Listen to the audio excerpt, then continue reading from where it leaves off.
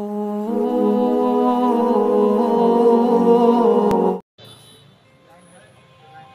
الحمد لله نحمده ونستعينه ونستغفره ونؤمن به ونتوكل عليه. ونعوذ بالله من شرور أنفسنا ومن سيئات أعمالنا.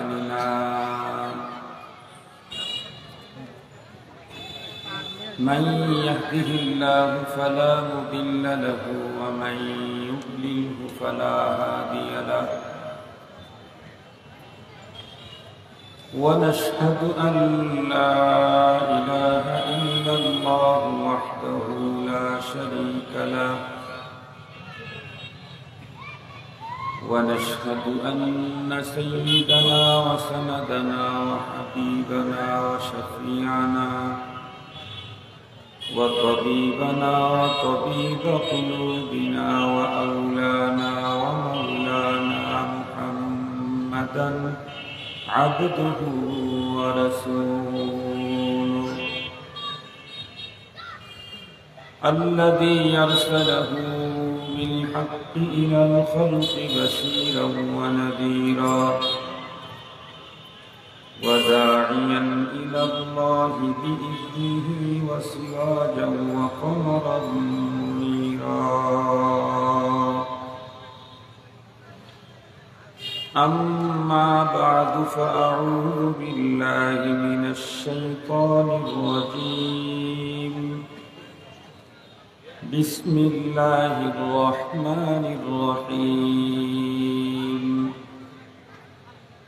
يا بني آدم قد أنزلنا عليكم لباسا يواري سوآتكم وريشا ولباس التقوى ذلك خير.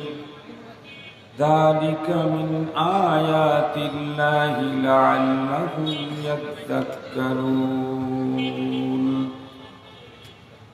وقال صاحب القرآن صلى الله عليه وسلم من تشبه بقوم فهو منهم. وقال صاحب القرآن صلى الله عليه وسلم المرء مع من أحب. أو كما قال عليه الصلاة والسلام. صدق الله مولانا العظيم وصدق رسوله النبي الأمي الكريم. ونحن على ذلك لمن الشاهدين والشاكرين والذاكرين. والحمد لله رب العالمين. اللهم صل على سيدنا مولانا محمد وعلى آله وأصحابه وبارك وسلم. اللهم صل على محمد النبي الأمي وعلى آله وسلم تسليما. يا رب صل وسلم دائما أبدا على حبيبك خير الخلق كلهم معزز محترم অধ্যকার শেরপুর ওলামা কেরামের উদ্যোগে আয়োজিত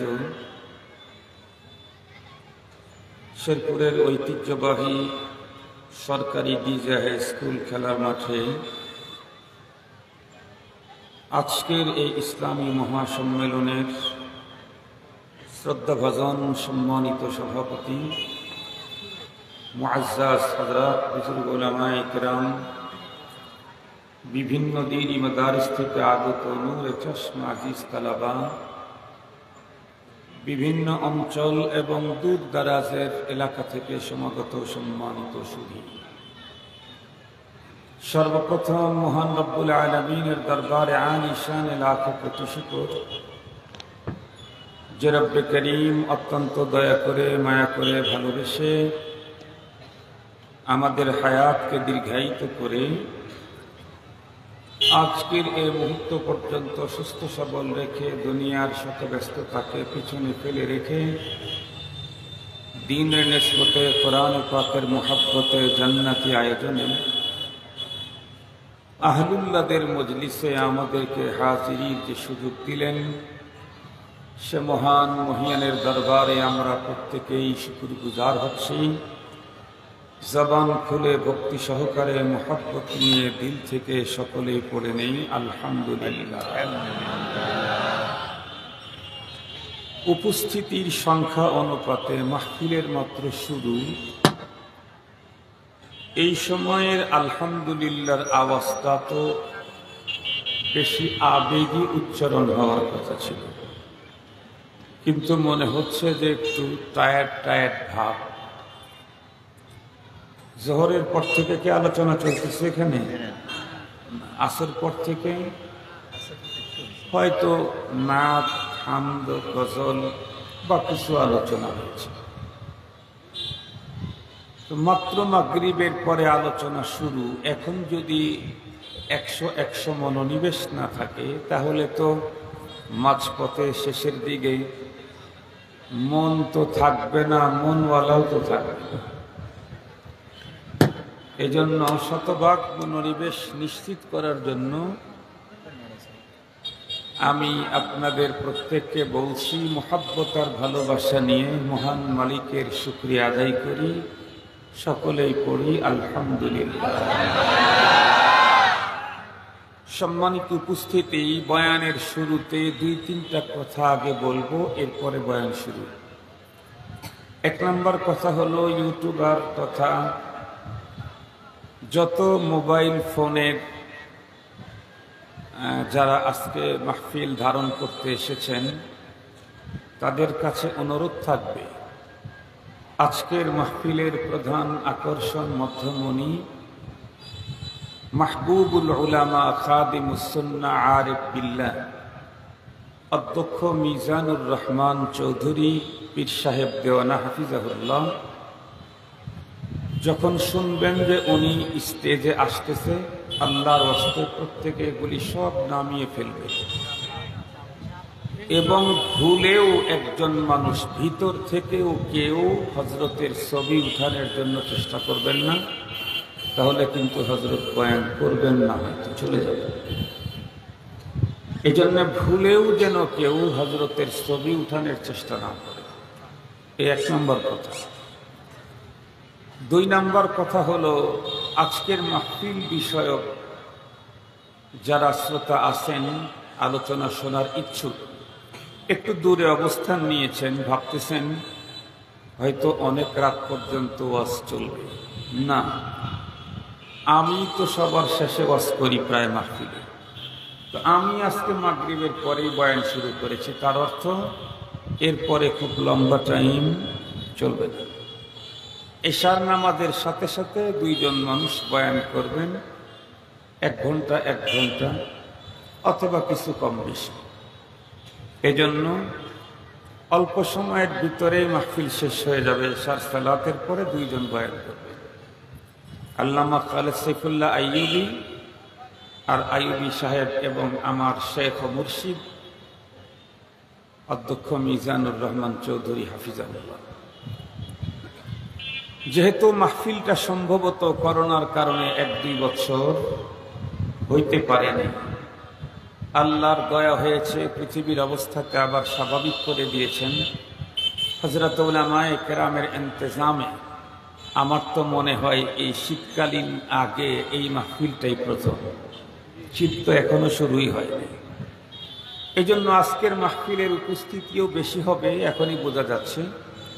তবে মাহফিলের উপস্থিতি যারা, তাদেরকে অনুরোধ করব, প্রত্যেকের বয়ান শেষ পর্যন্ত গভীরভাবে দিল দিয়ে আলোচনাগুলি শুনবেন এবং পরবর্তী জীবনে এগুলি আমল করার জন্য আমরা চেষ্টা করব। আল্লাহ পাক যেন আমাদেরকে তৌফিক দান করেন। আমি আজকে কোন সাবজেক্টের উপরে বয়ান করব ভাবতেছিলাম তো একটা সাবজেক্ট আমার জেহেনের মধ্যে এসেছে। যেই সাবজেক্টটা নিয়ে এখন বাংলাদেশে সোশ্যাল মিডিয়া এবং পত্রপত্রিকাতে মোটামুটি আলোচনা সমালোচনার তুল কালাম চলতেছে। সেই বিষয়টা নিয়েই আজকে আমি ইসলাম কি বলে, আমি মুসলিম হিসাবে আমার করণীয় কি, এর উপরে দিক নির্দেশনামূলক আলোচনা পেশ করব। আমার আজকের আলোচনার বিষয়বস্তু শরীয়তের দৃষ্টিতে পোশাক। আবারও বলছি, আমার আজকের আলোচনার বিষয়বস্তু ইসলাম তথা শরীয়তের দৃষ্টিতে পোশাক। আপনারা ইতিমধ্যে শুনেছেন, দেখেছেন, জেনেছেন, পোশাক নিয়ে বর্তমান সময়ের কিছু তরুণ তরুণী দুই রকমের অবস্থান নিয়েছে ইউনিভার্সিটির ছাত্রীরা। ওর সঙ্গে হয়তো কিছু ছাত্ররাও। একদল বলতেছে, দেশ স্বাধীন হয়েছে। আমার শরীরে আমি পোশাক লাগাবো। সেইখানে অন্যদের আমার পোশাকের ব্যাপারে আলোকপাত করার কথা বলার কোনো অধিকার নাই। তাদের দাবি হলো, স্বাধীন দেশে আমার শরীরে আমার পোশাক আমি পরব, পোশাকের ব্যাপারেও আমি স্বাধীনতা চাই। আর একটা গ্রুপ, তারাও ইউনিভার্সিটি পড়ুয়া নারী, তারাও প্লে কার্ড লাগায়া রাস্তায় দাঁড়িয়ে, তারাও বলতেছিল, অল্প কিছু সংখ্যক মানুষের শরীরের অল্প পোশাকের কারণে পোশাক পরিহিতা নারীরাও পুরুষের কোনো আক্রমণের শিকার হোক, এটি আমরা মেনে নিতে পারি না। মাহতারাম হাজরিন, খুব ভালো করে কথাগুলি বোঝার জন্য চেষ্টা করবেন। অনেক লম্বা সুর দিয়ে, অনেক কণ্ঠ দিয়ে ইরান তুরানের কিসা কাহিনী, এগুলি বলার সুযোগ টাইম এখন নাই। কারণ এখন সময়টা অত্যন্ত মুসিবত, ঘন মুহূর্ত। অত্যন্ত জরুরি দিনই আলোচনা। দিক নির্দেশনামূলক আলোচনা প্রত্যেকটি মুসলমানদের জন্য মুস্তানাদ আলোচনা অতীব জরুরি। তো আসলে এই পোশাকের ব্যাপারে ইসলাম তথা শরীয়তের কোনো নীতিমালা আছে না নাই? এই বিষয়টা আজকে মুসলমানদেরকে জানিয়ে দেওয়ার জন্য আমি কোরআনে পাকের সৌরাতুসফাত থেকে ছাব্বিশ নম্বর আয়াতে করিমা তেলাওয়াত করেছি। মুখতারাম হাজিরিন এ আয়াতে করিমাতে আল্লাহ তালা পৃথিবীর সকল মানুষদেরকেই সম্বোধন করেছেন। শুধুমাত্র কেবলমাত্র মমিনদেরকে এই আয়াতে সম্বোধন করে বিধান দেন নাই। এই আয়াতে সম্বোধন করেছেন পৃথিবীর তামাম মানুষদেরকে। খুব ভালো করে কথাগুলি বুঝবেন, অন্যদিকে মনোনিবেশ দিলে মূল ফাউন্ডেশন যদি না বুঝেন, পরবর্তী কথাগুলা বোঝা আপনাদের জন্য কষ্টকর হবে। এ ভাই, আয় ভাই তোমরা এক সাইডে যাও মাঝখানে গিয়ে মানুষের মনোনিবেশের ঘাটতি ঘটায় না। এক সাইডে যাও, এই এক সাইডে যাও এদিকে এসে বসো। তোমাদের কারণে বহু মানুষ তোমাদের দিকে তাকায় রয়েছে। মুখতারাম হাজিরিন, আল্লাহ তালা পৃথিবীর সকল মানুষকে কোনো সম্বোধন করে, কোনো বিধান দিতে গিয়ে তাদের জন্য কোনো বয়ান করতে গেলে আল্লাহ পাক রব্বুল আলমিন কয়েকটা পদ্ধতি সেখানে অবলম্বন করেন। তার ভিতরে একটা পদ্ধতি হলো, ইয়া আইয়ুহান্নাস, সমস্ত মানুষদেরকে এখানে সম্বোধন। ইয়া আইয়ুহান্নাস, হে মানব মণ্ডলী, কিন্তু পোশাকের বর্ণনা করতে গিয়ে রব্বুল আলামিন বিশেষ শ্রেণির মানুষ ইমানদারদেরকে সম্বোধন করেন নাই ইয়া ইজুহাল্লাদিন আমানু বলেন নাই।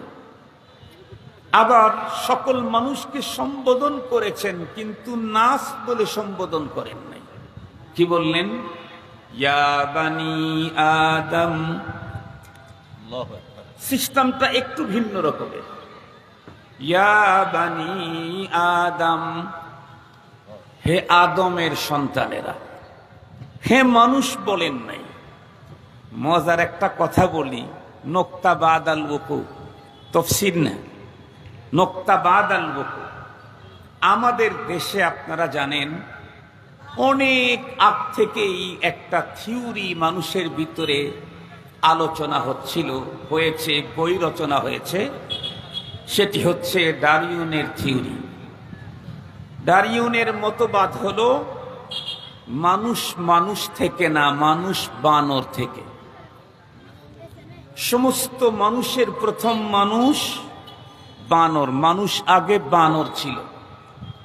লেস টেস কেটে এদিক ওদিক মডিফাই করে এখন মানুষ হয়েছে। খুব ভালো করে বুঝবেন এই ডারিউনের থিওরির সাথে আমরা কি একমত? এখানে আমরা যারা আছি আমরা কেউ বানরের বাচ্চা হইতে চাই না। কি বলেন? পূর্বপুরুষ যদি বানর থেকে মানুষ হয়ে থাকি, তাহলে তো আমরা বানরের বাচ্চা আমরা বানরের বাচ্চা হতে চাই না। আমরা কিসের বাচ্চা আদম আল ইসলামের বাচ্চা সুবহানাল্লাহ বললেন না যে? আদম আলাই ইসলাম প্রথম মানুষ এই প্রথম মানুষটা শুধু মানুষই নন, বরং প্রথম পয়গম্বর। সুবহানাল্লাহ বললেন না যে? আমরা তো বানর থেকে আসি নাই আসি নাই, শুধু এতটুকুন না। মানব থেকেই মানব না, বরং নবী থেকে মানব আমরা। পৃথিবীর সর্বপ্রথম মানুষ, উনি পাবলিক না পয়গম্বর? পয়গম্বর। পৃথিবীর প্রথম মানুষটা আল্লাহ তালা পয়গম্বর বানিয়ে কেয়ামত পর্যন্ত আনেওয়ালা সকল মানুষের মর্যাদাকে অনেক উঁচু করে দিয়েছেন। এজন্য আমরা, আমাদের পূর্বপুরুষ বানর ছিল, এই থিওরির সাথে আমরা একমত না।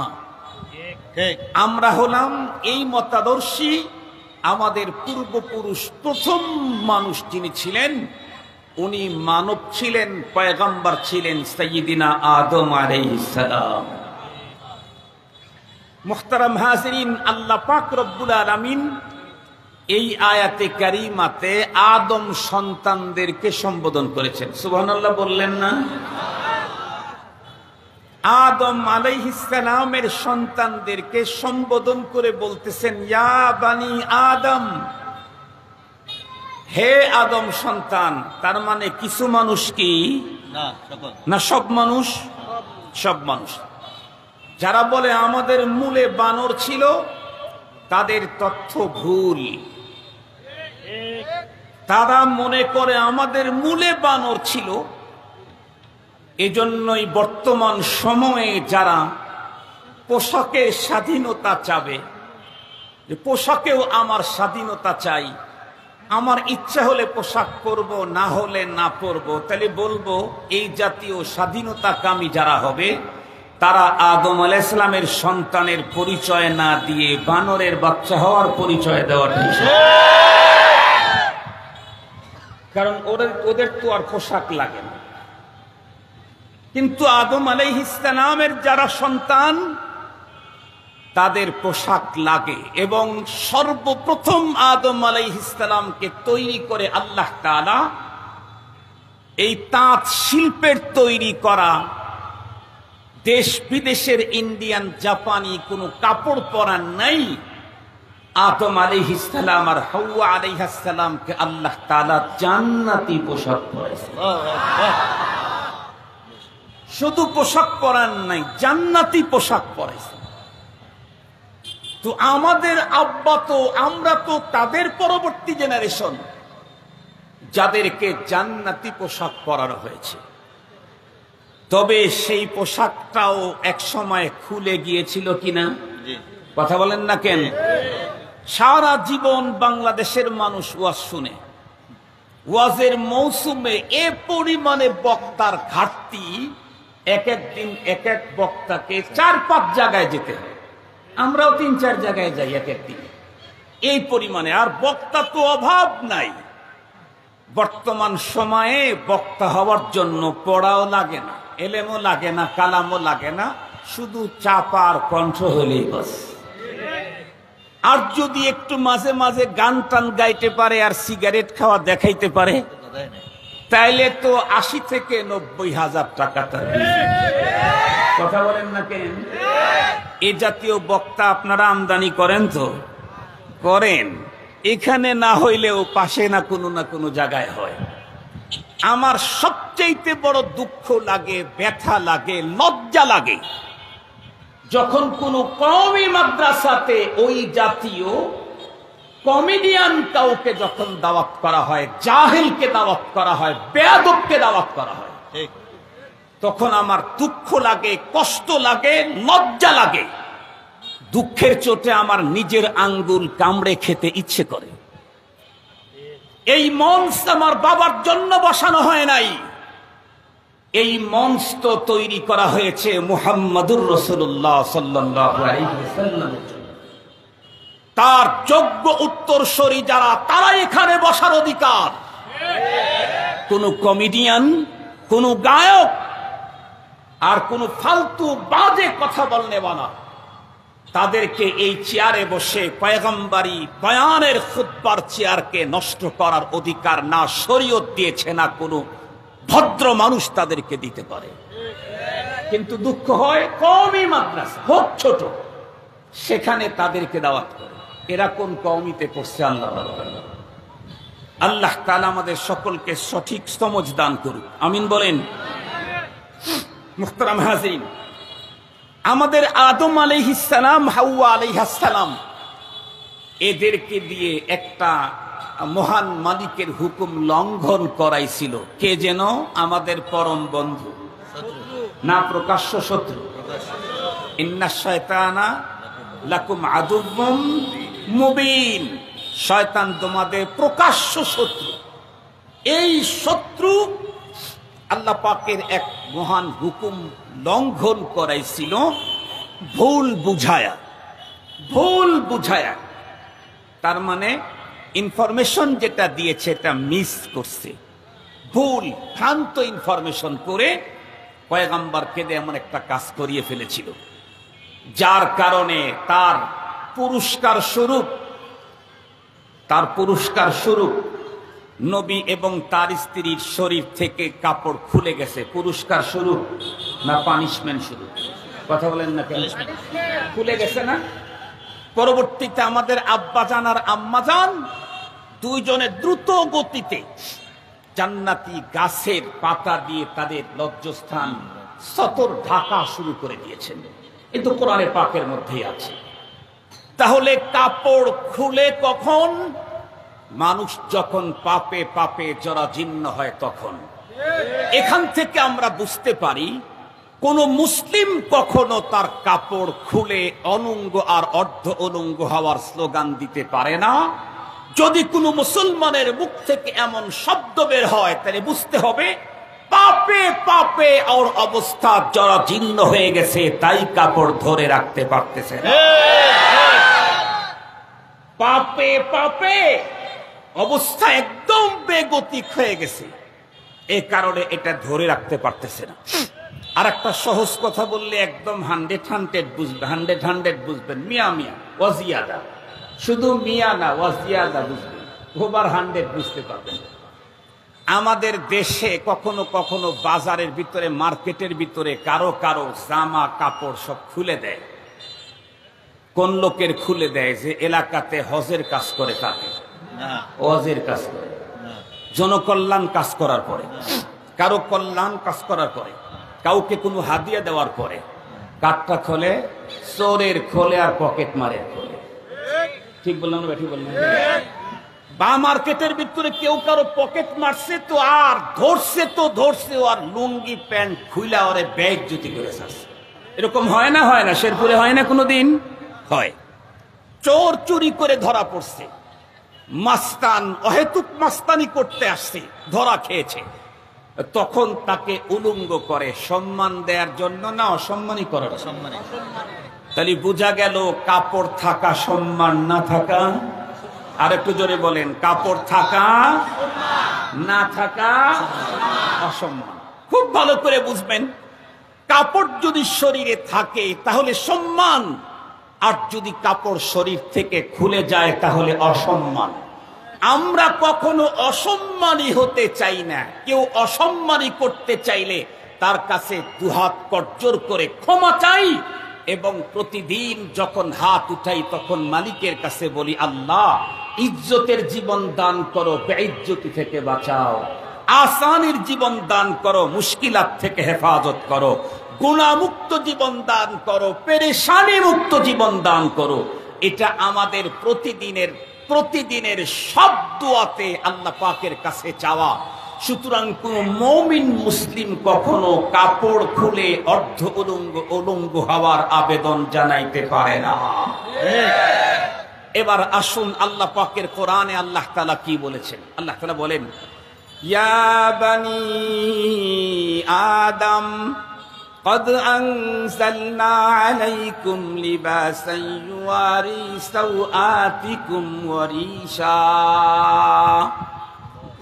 আল্লাহ পাকের কোরআনের এতটুকুন আয়াতে আল্লাহ বললেন যে আদম সন্তান ডারিউনের থিওরিতে বানরের বাচ্চা যারা তারা কাপড় খোলার আবেদন করতেই পারো ঠিক আদমের বাচ্চা যারা তাদেরকে আমি আল্লাহ বলে দেই তোমাদের জন্য আমি কাপড়ের উপকরণ নাজিল করলাম। আল্লাহ। আল্লাহ বলেছেন লিবাসা আমি একটু তর্জমাতে বলছি কাপড় না কাপড়ের উপকরণ। কেন? এইভাবে কাপড়টা এইভাবে তৈরি করা কাপড় সবাইকে আল্লাহর পক্ষ থেকে দেওয়া হয়নি। আদম আলাইসলামকে দেওয়া হয়েছিল হাউয়া আলাই ইসলামকে দেওয়া হয়েছিল ইব্রাহিম আলাহ ইসলামকে যখন উলুঙ্গ করে অগ্নিকুণ্ডে ফেলে, তখন তৈরি কাপড় দেওয়া হয়েছিল। আর আমাদের সবাইকে কাপড়ের উপকরণ দিয়েছেন। যদি তৈরি করে পাঠাইতেন, তাহলে কোটি কোটি মানুষ কাপড়ের ফ্যাক্টরিতে কাজ করতে না পারলে বেকার হয়ে যেত। এই জন্য কর্মসংস্থানের ব্যবস্থা করতে করেছেন রব। কাপড়ের উপকরণ পাঠিয়েছেন। কাপড় পাঠান নাই। মালিক ইচ্ছা করলে কাপড় পাঠাইতে পারতেন। এবং পারেন করেছেন পাঠিয়েছেন কিন্তু সবার জন্য দেন নাই কেন? সবার জন্য ডাইরেক্ট কাপড় দিয়ে দিলে তাহলে কাপড় ফ্যাক্টরিতে স্পিনিং মেলে গার্মেন্টসে কোটি কোটি মানুষের রিজিকের ব্যবস্থা, এটি বন্ধ হয়ে যেত। ফেরুল হাকিম এজন্য আমি তর্জমা করতেছি। আল্লাহ তালা বলেন আমি তোমাদের এখানে কাপড়ের উপকরণ দিয়েছি। এই পৃথিবীতে বিজ্ঞানীরা হাজার না কোটি আইটেমের আবিষ্কার করেছে। কোটি কোটি আবিষ্কার বিজ্ঞানীদের আছে। কিন্তু একজন বিজ্ঞানী তামাম পৃথিবীতে একজন এমন দেখাইতে পারবেন না, যেই বিজ্ঞানী আল্লাহ পাকের তৈরি করা কিচ্ছু না নিয়ে শুধুই তার হাত পা বডি দিয়ে, তার গবেষণা দিয়ে ছোট্ট এক ইঞ্চি পরিমাণ কোন জিনিস আবিষ্কার করেছে। দেখাইতে পারবেন কি। পারবেন। অনেক বড় উড়োজাহাজ আবিষ্কার করেছে টন টন ওজন নিয়ে আকাশে উড়ে যায়। কিন্তু এই উড়োজাহাজ আবিষ্কার করতে এখানে প্লাস্টিক লেগেছে। এই প্লাস্টিকের এই জিনিসটা মূল জিনিস কে দিয়েছেন আল্লাহ। এখানে ওখানে ম্যাগনেট লাগিয়েছে। এই ম্যাগনেটটা কে দিয়েছে? আল্লাহ। ওই জায়গায় লোহা দিয়েছেন লোহার এই ধাতুটাকে তৈরি করেছেন?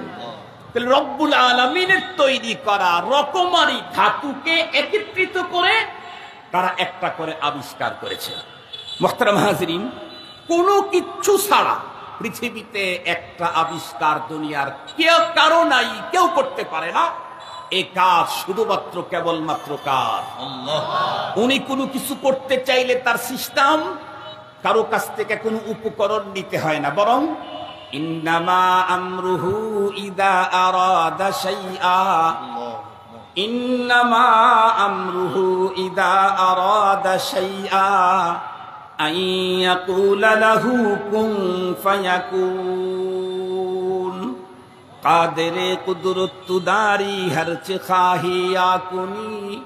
মুর্দারা, তু জানে বখশি জিন্দারা, বেজা কুনি। তরফতুল আইনে জাহা বরহম জনাদ। কসনমি ইয়ারদ কে আজাদম জনাদ। কসনমি ইয়ারদ কে আজাদম জনাদের চয়েস মতো কাপড় বানায় নাও। একদম পাতলা বানাইবা হুজুরের দার মতো। বানাও। উপকরণ দিয়েছি। বাইরের থেকে কিছু আনতে হবে না, সব আমার তৈরিতে আছে। আবার যিনি বয়ান করতেছেন, তার মধ্যে একটু মিডিয়াম বেশি পাতলাও না, বেশি মোটা না। বানাও। আবার অনেক বেশি মোটা বানাইতে চাও, বানাও। ওর উপরে আবার তুমি তোমার কালার চয়েস মতো কালার লাগাইতে চাও। লাগাও কালারের উপকরণ আমি দিয়ে দিলাম মডিফাই করে অনেক বাড়াইতে পারব। সুবহানাল্লাহ বললেন না যে? কম্পিউটার আবিষ্কার হওয়ার আগে পৃথিবীতে কালার ছিল হাতে গোনা কয়েকটা।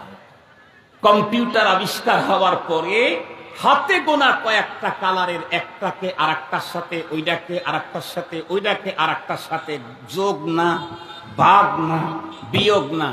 এখন শুধু গুণন চলবে কিয়ামত পর্যন্ত। সুবহানাল্লাহ বললেন না যে? গুণনের দ্বারায় কমে। কথা বলেন না কেন? গুণনের দ্বারায় কমে। বিয়োগের দ্বারায় বাড়ে। ভাগের দ্বারায় বাড়ে। ভাগ আর বিয়োগের দ্বারায় কমে যায়। কিন্তু যোগের দ্বারায় বাড়ে গুণনের দ্বারায় বাড়ে। আমি বলছি, যোগ হবে না গুণন হবে? কথা বলেন না কেন? যোগ হবে না। মালিক যা উপকরণ দিয়েছেন, এর পিছনে গবেষণা করো, যোগ হইলে তো ওই পরিমাণে বাড়বে গুণন হবে। এখন কত রং আপনি, কি বলে, এই ব্যাংকের ওখানে যান, যেখানে রঙের ব্যাংক আছে, সেখানে যান গিয়া দেখবেন, লম্বা ফেহেরেস, কোনটা আপনি নিবেন, চোখ ধাঁধা লেগে যাবে।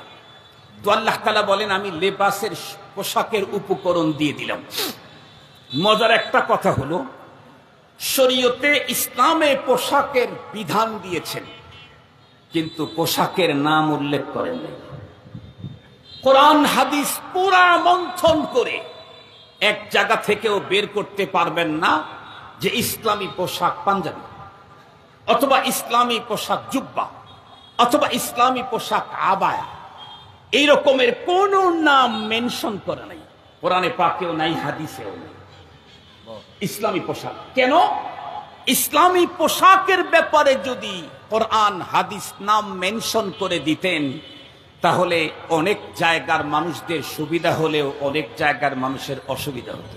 আর আল্লাহ পাক কোরআনে আগেই বর্ণনা করছেন, কোরআনে আমি বিধান দিলাম বিধি বিধানের পাঁচ শত আয়াত নাজিল করে দিলাম।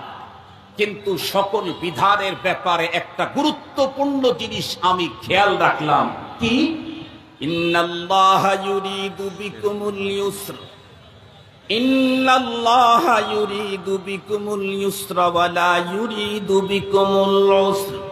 আল্লাহ পাক বলেন বিধান আমি দিলাম পাঁচ শত আয়াত নাজিল করলাম শুধু বিধিবিধানের কিন্তু সব বিধান তোমাদেরকে দিতে গিয়া তোমাদের সহজ হয়, সেই দিকটাই লক্ষ্য রেখেছি, কঠিন হয়, এমন বিধান আমি দিই আল্লাহ পাক আরও বলেন, লা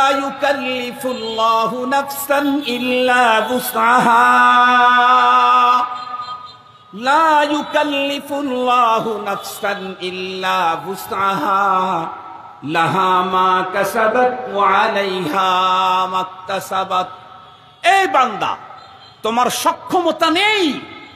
এই ব্যাপারে, এই জাতীয় কোনো ব্যাপারে আমি তোমাকে মুকাল্লাফি করি নাই। আমার অর্ডারই নাই। তুমি পারবে না এমন অর্ডার আমি দেই নাই। ফরজ নামাজ দাঁড়িয়ে পড়া ফরজ। কিন্তু অসুস্থতার দরুন কেউ দাঁড়াইতে পারতেছে না, তাহলে তার জন্য কি দাঁড়িয়েই পড়তে হবে না বসে পড়ার অনুমতি আছে? বসেও পড়তে পারতেছে না, কষ্ট হচ্ছে অনেক বেশি। তাহলে সেই ক্ষেত্রে শুয়েই পড়বে। রুকু, সেজদা তো জরুরি, কিন্তু রুকুও করতে পারতেছে না, সেজদাও করতে পারতেছে না। শরীয়ত অপশন দিয়ে সে ইশারা করে হবে। সুবহানাল্লাহ বললেন না যে, কেবলা মুখ হয়ে নামাজ পড়া ফরজ, নাকি কেবলা মুখ হয়ে নামাজ পড়া ফরজ? এমন জায়গায় গেছে, কেবলা ফি আইয়ি জিহাতিন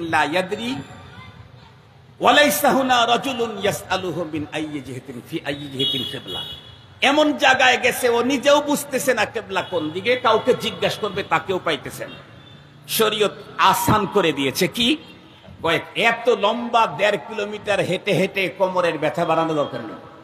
একটু ডান বাম দিকে হাঁটায় দেখো তো, জিজ্ঞাসা করার কারও পাওয়া যায় না কি? যদি পাওয়া যায়, জিজ্ঞাসা করো। কাউরে পাওয়া যায় নাই। তাহলে অনেক বেশি পেরেশানি করা দরকার নাই। আল্লাহর উপরে ভরসা করে শরীফ করে একটু ফিকির করো। আর কোন দিকে হতে পারে আল্লাহ তুমি আমার দিল সেদিকে ঘুরায় দাও। বাস ফিকিরের পরে তোমার মন যেদিকে বলছে এটাই তোমার কেবলা। নামাজের পরে দেখছে ইন্নালিল্লা একদম অপোজিট পূর্ব দিকে সেজদা হয়েছে। শরীয়ত কি বলেছে। তোমার নামাজ কেবলার দিকে পড়লে যেই নাকি অপোজিটে সেজদা হয়েছে সেই নাকি। আল্লাহ বলে দিয়েছেন ইন্নাল্লাহ ইউরিদু বিকুমুল ইউসরা। বিধান দিলাম। তবে বিধান দিতে গিয়ে আমি তোমাদের সহজ হয়, আসান হয়, এটা আমি আমার লক্ষ্য রাখলাম। এই বিষয়টা হান্ড্রেড পার্সেন্ট ঠিক করে তোমাদেরকে বিধান দিয়েছে। এই জন্য কোটি কোটি বিধান আসলে সমস্যা কোথায়? কারণ আমার সক্ষমতা যা, তাই আমার রব আমাকে অর্ডার করেছেন। আলহামদুলিল্লাহ বললেন না যে? মোখতারাম হাজিরিন, এবারে আসুন। তো বলতেছিলাম আল্লাহ পাক নাম মেনশন করে কোন পোশাকের নাম উল্লেখ করেন নাই। কেন? ছোট্ট একটা গ্রহ। পৃথিবী কিন্তু ছোট একটা গ্রহ। বাংলাদেশের কথা বলি নাই। ভারতবর্ষের কথাও বলি নাই। এশিয়ার কথাও বলি নাই। তাম আল্লাহ পাকের তৈরি করা গ্রহের একটা ছোট্ট গ্রহ। এই তো কিছুদিন আগেই বিজ্ঞানীরা এক নতুন তারকার সন্ধান পেল। যেই তারকা সম্পর্কে তারা তথ্য দিয়েছে সূর্যের চাইতে কয়েক হাজার কোটি গুণে বড়। কয়েক লাখ কোটি গুণে বড়। একটা তারকা এই এই রিসেন্ট রিসেন্ট সৌর বিজ্ঞানীরা একটা তথ্য দিয়েছে তারকার নাম উল্লেখ করেছে। এই ছোট্ট পৃথিবীতে যারা দেশ দুনিয়া ঘুরে দেখেছেন তারা জানেন বাংলাদেশের আবহাওয়া আর এই আমাদের আমরা যে দেশের সাথে আগে এক ছিলাম পাকিস্তান, সেই পাকিস্তানের আবহাওয়ারই মিল নেই। পাকিস্তানের কোন কোন এরিয়াতে আবহাওয়া সেম সৌদির মতো। সৌদিতে যেমন প্রচণ্ড গরম, এই তো গত রমজানে আল্লাহ তাআলা তার ঘরে যাওয়ার সুযোগ করে দিয়েছিলেন। ওইখানে যাওয়ার পরে আমার আগের থেকেই অভিজ্ঞতাটা আছে। একদম দিন দুপুরের সময় সূর্যর যে তাপ আর সৌদির আকসার জায়গা হলো পাথর, মাটি নেই। পাথরের উপরে যখন রৌদ্র পড়ে, এরপরে অ্যাবেল অ্যাবেল কোনো গাছপালাও নেই। আমার মনে হয়, দুপুরে দুপুরের সময় যদি সৌদি আরবের কোনো উঁচু পাহাড়ের উপরে কাউকে মাত্র আধা ঘণ্টার জন্য রেখে দেওয়া হয়, আধা ঘণ্টা পরে তার ডেড বডি উদ্ধার করতে হবে, জীবিত পাওয়ার সুযোগ নেই। এত সিরিয়াস তাপ এত কঠিন গরম। আমি তো আমার হাজিদেরকে বলতাম, আল্লাহ তাআলা হাসরের ময়দানে দাঁড় করানোর দরকার নেই। সৌদি আরবের উঁচু কোনো পাহাড়ে যদি দুপুরের সময় এই তাপের মধ্যে দাঁড় করায় দেয়, তাহলেই বাঁচার সক্ষমতা আমাদের নাই। তাহলে কোন দেশ তো এমন আছে যে দেশে প্রচণ্ড গরম। রব্বুল আলমিন যদি ডিজাইন দিয়ে দিতেন, ফুল হাতা, গলার ভিতরে আবার এখানে টাই লাগায় এটা বন্ধ করে দিয়ে এর টোটালটা মোটা কাপড়ের পড়তে হবে। বাঙালির পক্ষে সম্ভব হলেও অনেক দেশের মানুষের জন্য তা কষ্টসাধ্য হয়ে যেত মোহতারাম হাজিরিন, আবার যদি বলতেন, সবার জন্য একদম পাতলা, তাহলে যেই দেশে খুব বেশি তুষার পড়ে, যে দেশে খুব বেশি তুষার পড়ে, সেই দেশের মানুষের জন্য এই পোশাক পরে জীবনযাত্রা বড় কষ্ট হয়ে যেত। এই জন্য রব্বুল আলমিন নীতি বলে দিয়েছেন, নীতি নির্ধারণ করে দিয়েছেন, সিস্টেম বলে দিয়েছেন। এখন তুমি কোনটা নিবা, সিস্টেম আমারটাই হবে। কোনটা চয়েস করবে এটা তোমার ব্যাপার। সুবহানাল্লাহ বললেন না যে? সিস্টেম আমারটা হবে। সিস্টেম কি দিয়েছেন? কোরআন শরীফের ভিতরে আল্লাহ তাআলা সূরাতুস সাফফাত আরাফ সূরাতুল আরাফের 26 নম্বর আয়াতে কারিমা যেটা আমি তেলাওয়াত করেছি, এই জায়গাতে আল্লাহ তাআলা বলেন আমি তোমাদের জন্য পোশাকের উপকরণ দিয়ে পোশাক তৈরি করে তোমাদের কাছে পাঠিয়ে দিয়েছি দুইটা কারণে। কয়টা কারণ? আমি যতটুক পড়েছি তার কিছু অংশের কথা আজকে আজকে আপনাদের মতো বলব। তার ভিতরে এক লাখ এক, একটা হলো আল্লাহ পাক বলেন, ইউয়ারি সাউআতিকুম। প্রথম নাম্বার উদ্দেশ্য হলো পোশাক পৃথিবীতে নাজিল করার, তৈরি করার পোশাক তোমাদেরকে দেয়ার প্রথম টার্গেট হলো ইউয়ারি সাউআতিকুম। সাউআত শব্দ আরবি, এর বাংলা হলো, মানুষের দেহের যেই অঙ্গগুলাকে চব্বিশ ঘন্টায় ঢেকে রাখতে হয় শরীয়তের বিধান, সেটাকে আরবিতে সাউআত বলে। আমরা অবশ্য অন্য ভাষায় এর সাথে পরিচিত, সেটা হলো সতর। ঠিক বললাম না ঠিক বললাম? অন্য শব্দে আমরা এর সাথে পরিচিত, সেটা কি বলেন? সতর বললে বুঝি না আমরা? সতর বললে কি কলার সতর? না না না, সতর আরবি সতর, এটা আমরা বুঝি, এটা কলা গাছের ইয়া না। বরং এটা হলো নারী আর পুরুষের দেহের বিশেষ অংশ যেগুলিকে চব্বিশ ঘণ্টা ঢেকে রাখতে হয়। রব্বুল আলমিন বললেন, আমি যে তোমাদের জন্য রকমারি হাজার আইটেমের কোটি রঙের এই কাপড়ের এগুলি দিলাম আমি তোমাদেরকে। প্রথম টার্গেট হলো, এর দ্বারায় তোমরা তোমাদের বিশেষ অংশকে চব্বিশ ঘন্টায় ইউয়ারি গোপন করে দিবা পর্দা ঢেলে দিবা। ছুপায়া রাখবা। কি করবে হ্যাঁ? ছুপায়া রাখবা। গোপন করে রাখবা। এটা হলো প্রথম টার্গেট এখন সেই অংশটা কতটুকুন?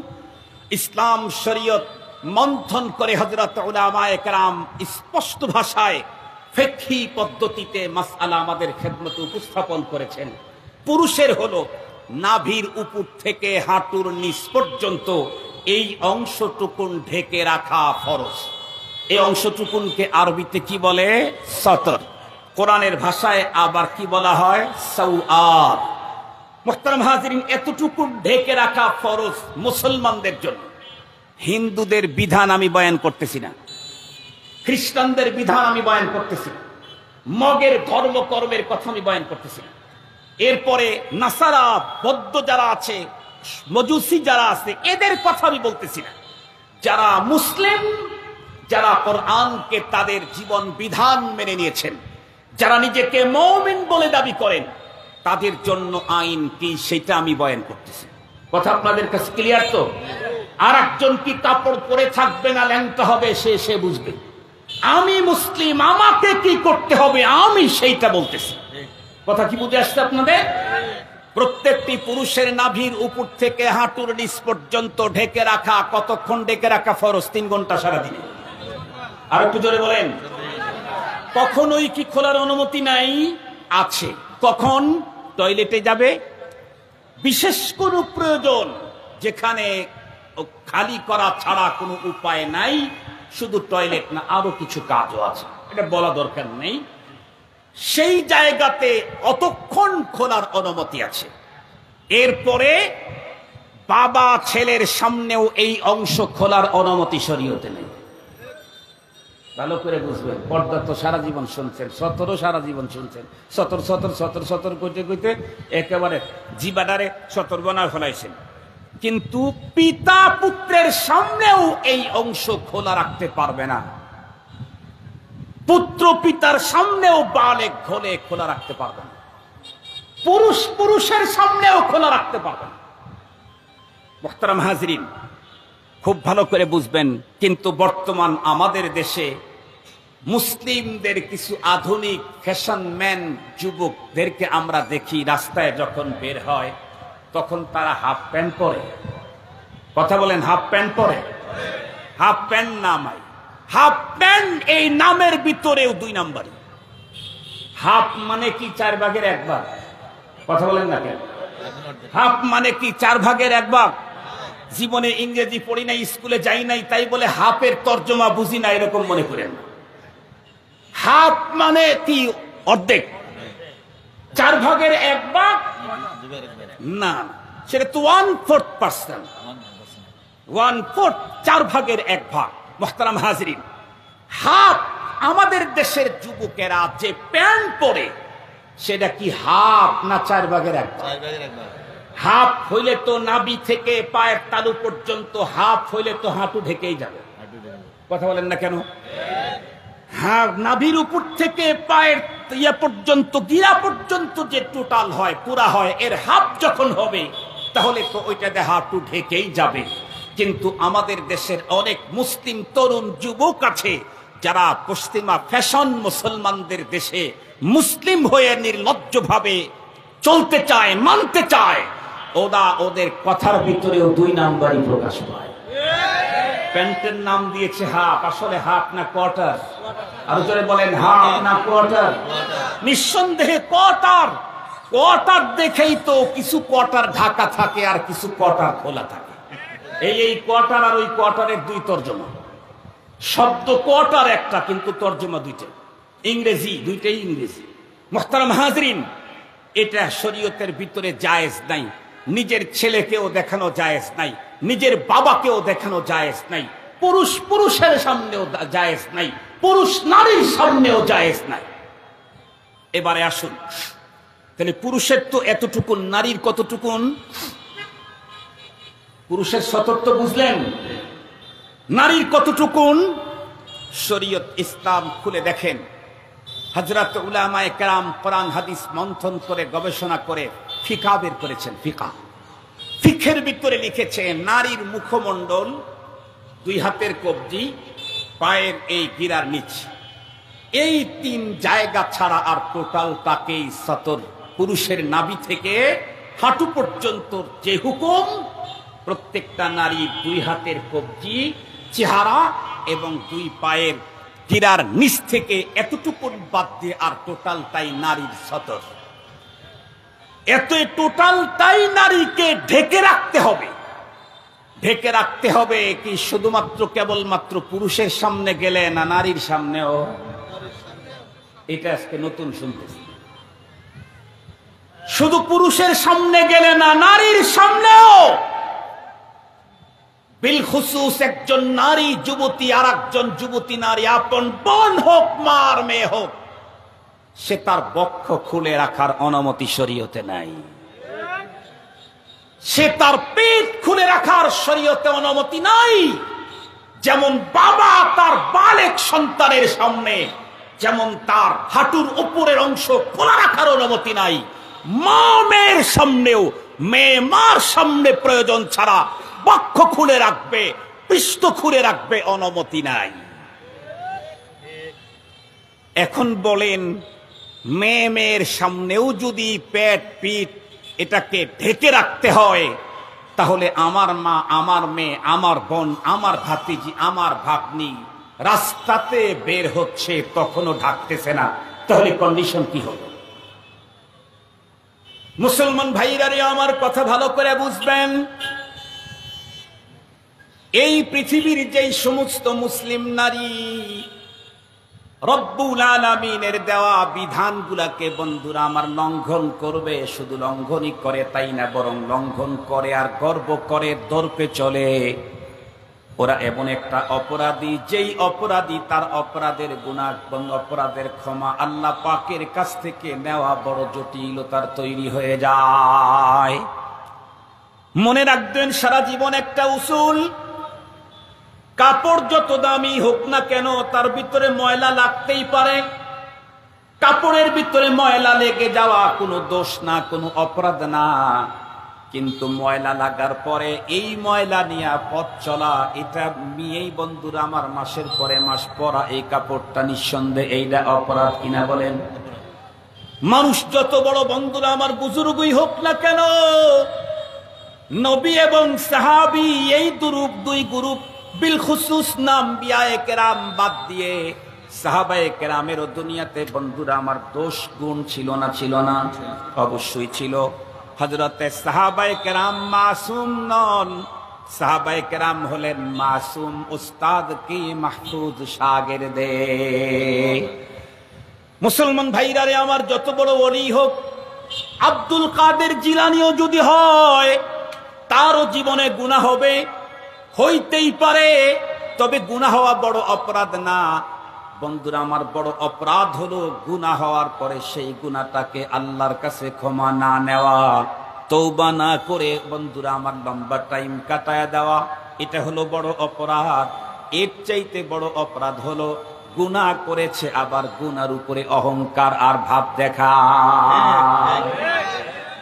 গুণা করেছে তো করেছে সেটা আবার বলে বেড়ায়। সেটা আবার মানুষের সামনে পাবলিসিটি করে। এটার উপরে আবার দাম্ভিকতা দেখায়। এই কাজটা যদি করল, তাহলে এই লোকের এই গুণা মাপ নেওয়া এখন অনেক কঠিন হয়ে গেল। অসম্ভবের কাছাকাছি চলে গেল। এই গুণা মাপ নিতে চাইলে মালিকের কাছে যেই পরিমাণে সারেন্ডার করতে হবে, ওই পরিমাণের সারেন্ডার আমার আপনার দ্বারায় হয় না। এটা জটিল, মহা জটিল। অপরাধ কখনো ওপেন হয়, কখনো গোপনে হয়। কথা বলেন।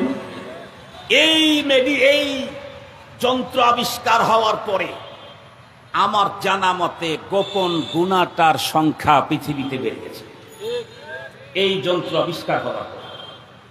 এই পৃথিবীতে যত যন্ত্র বিজ্ঞানীর যত আবিষ্কার আছে, সবচাইতে মানুষের চরিত্র আর জীবন নষ্ট করার সবচাইতে সিরিয়াস মারাত্মক অস্ত্রের নাম হলো টাসফোন পৃথিবীতে এই পরিমাণে মানুষের চরিত্র, ইমান, আমল, জীবন লাইফ নষ্ট করার আর কোন যন্ত্র বিজ্ঞান আবিষ্কার করতে পারে নাই। এর এটা হলো পৃথিবীর সবচাইতে সেরা চরিত্র বিধ্বংসী এক, অ্যাটম।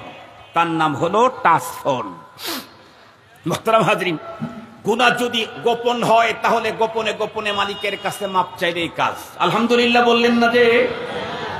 আর গুণাটা যদি ওপেন হয়ে যায়, তাহলে শরীয়ত বলেছে, তোমার তবাটাও কথা বলেন না কেন?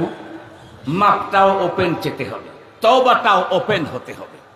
মোহতারাম হাজরিন, তাহলে যদি গুণা করার পরে কারও যদি দাম্ভিকতা হয়, তাহলে এই গুণা মাপের জন্য তার সিরিয়াস ভাবে অনুতপ্ত হতে হবে। নর্মাল অনুতপ্ত, এর দ্বারা এই গুণা মাপ হবে। মুসলমান ভাইরারে আমার ভালো করে বুঝবেন, শুধু তাই নয়, যেই সমস্ত মুসলিম নারী এভাবে তাদের দেহের বন্ধুরা আমার গোপন রাখা অংশগুলাকে বাইরে বের করে যারা ঘোরাফেরা করবে, এই নারী পরপারে জাহান নামে যাবে শুধু এমনটি না, বরং পয়গাম্বার বলেন নিসাউন কাসিয়াতুন আরিয়াতুন মুমিলাতুন মাইলাত। রুউসুহুন্না কাআজনিবাতি বুখতিল মাইলা। লা ইয়াদখুলনাল জান্নাতা ওয়া লাম ইয়াজিদনা রিহাহা। ওয়া ইন্না রিহাহা লাতুজাদু মিন মাসিরাতি কাদা ওয়া কাদা এই হাদিস যখন পয়গম্বর বলেছেন সাহাবীদের সামনে, এই হাদিসের অনেক অংশই সাহাবায়ে কেরাম বুঝতেই পারেন নাই। কেরাম, প্রথম যুগের কেরাম অনেক বন্ধুরা আমার তাদের মাথাতেই ঢুকে নাই করতে পারে নাই। কারণ নবী তো বলেছেন নবী বলছেন, এমন কিছু নারী হবে যারা পোশাক পরে থাকবে কিন্তু উলঙ্গ হয়ে থাকবে, পোশাক পরার পরেও উলঙ্গ থাকবে। এই কথাটা আজ থেকে চোদ্দ শত বছর পূর্বে ওই সময় কখনো কল্পনাই করতে পারে নাই। কেন কেন কেন? তার অনেকগুলি কারণের। একটা কারণ হলো, ওই সময় তো এখন পৃথিবীতে যেই পরিমাণে টেক্সটাইল মিল, বন্ধুরা, আমার আধুনিক, অত্যাধুনিক তৈরি হয়েছে, একদম চিকন থেকে চিকন, পাতলা থেকে পাতলা যে মানের কাপড় এখন তৈরি করে, তখন তো এই মানের কাপড় তৈরি করার কোনো মেশিন আবিষ্কার ছিল না। এই জন্য তারা এটা ভাবতেই পারে নাই। কিন্তু চোদ্দশো বছর পরে এসে আমরা মুহাদ্দিস লাগবে না হাদিসটা বুঝার জন্য, শুধুমাত্র তর্জমা করলে একজন সাধারণ মুসলমান বুঝবে কাপড় পরার পরেও উলঙ্গ কেমনে হয়। মুহাদ্দিসিনে কেরাম বলেন, কাপড় পরার পর